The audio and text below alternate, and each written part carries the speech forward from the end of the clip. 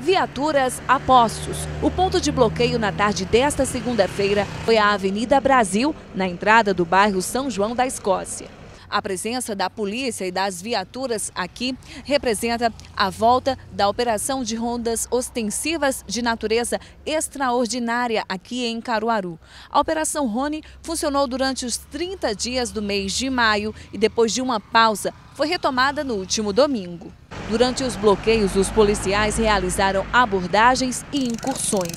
O intuito é de diminuir os crimes na cidade. A gente está contando com policiais especializados do Recife, como foi da outra vez, só que a gente, nesse novo período, a gente está tentando dar uma intensificada nos locais que na outra vez não foram, não foram contemplados com a Operação Rony, em outros bairros, não só nos pontos de criminalidade alta.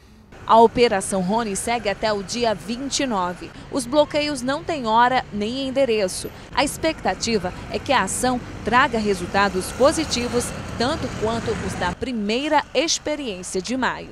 Da outra vez houve um, acréscimo na nossa produtividade, né? Aumento de apreensão de armas, drogas, cumprimento de mandado de prisão. É ainda muito cedo para a gente falar da Rony agora, né? Tendo em vista que ela está com menos de 24 horas que se iniciou. Mas pelo que a gente já viu do, do período passado, tem tudo para dar certo.